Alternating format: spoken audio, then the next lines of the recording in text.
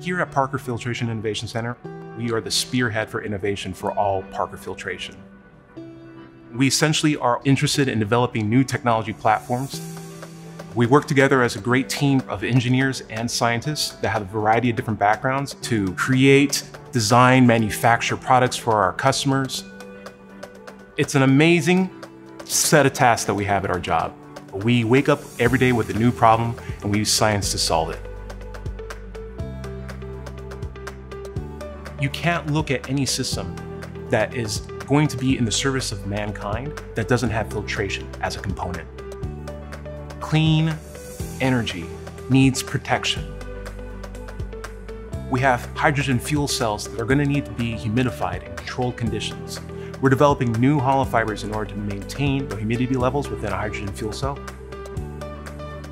It's essentially like a very fancy coffee straw. Inside the straw is a variety of different kinds of pores of different sizes that we manufacture to a very specific design. We're able to zoom down to a million times magnification and improve upon it with each iteration. Essentially, we're designing them with a scalpel while our competitors are left with a hatchet. Parker's always been about the community. It's one of our guiding principles, and we want to embody that with the work that we do here at this site.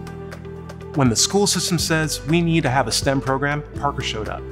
We are here to build new science labs, new engineering labs, to enhance the education of students that are currently in schools to continue to love engineering and science. The great thing about disc golf is there's a lot of engineering that goes behind it. For our disc golf team that we're going to have with our students, we're also working with the kids to develop 3D printed discs that fly better for their needs and for the courses that they're designing themselves. I can't think of anything more important than inspiring a young kid to not only understand what they're capable of in the future, but what opportunities are available for them if they were to continue through this path that they're on in STEM. The Parker Purpose is a philosophy that we use to build the best solutions for our customers.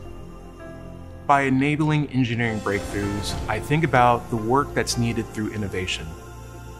And that takes teamwork. It takes communication, and it takes a site like this that's willing to look at those problems in a new way.